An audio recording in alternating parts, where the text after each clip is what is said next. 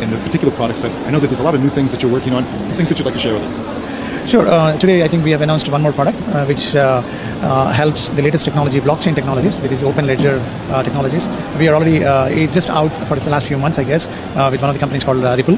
And we have already partnered with them, and we have a working product, in which we have demoed it here, uh, uh, and we are going to demo that to a lot of our customers as well. And we are getting a lot of good traction there, saying uh, customers have looked at it, and they're saying this is great because it's when they're thinking about these things, when we show the solution, they really love it.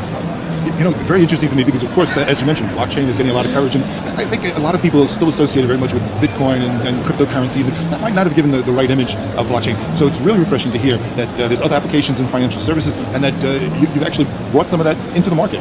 I'd like to hear a little bit more. Again, you're absolutely right because uh, blockchain has been associated with Bitcoin. Uh, a lot of people have not been looking at other things, but I think now uh, the knowledge of blockchain technology is becoming a little more popular, and people are learning more on how it can be used, right from the securities market to the payments market, um, the settlements, and all that. I think um, as we as we go forward. Um, again, there will be a lot of uh, uh, excitement uh, regarding that, and a lot of new players, and eventually there will be shake-up, and then some of the leading players will settle down as the leading leaders. And by what we are trying to do is, it really doesn't matter which vendor you go with, which technologies we go. With. We our architecture itself is built in such a way that we are. I, I, I would like to use this phrase called future-proof.